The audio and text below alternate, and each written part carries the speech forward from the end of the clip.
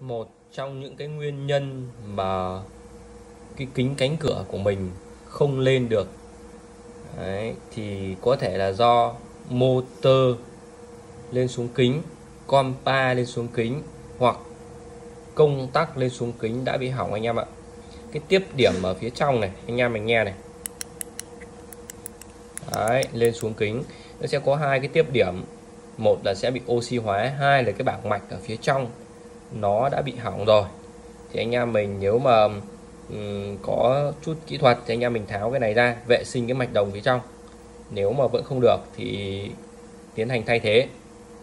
Và bật mí cho anh em biết là ba cái công tắc lên xuống kính tức là bên lái có hai cái và bên phải có một cái thì ba cái này đều sử dụng như nhau.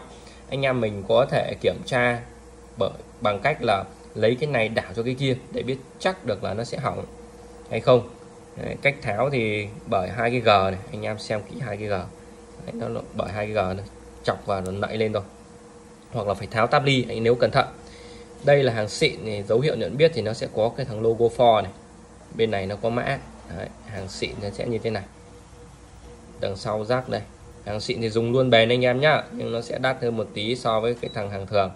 Anh em nào nếu mà có nhu cầu đặt hàng thì nhấp vào cái liên kết này nhá hoặc đặt qua Shopee Lazada trên trang uh, Facebook hoặc là trang web bên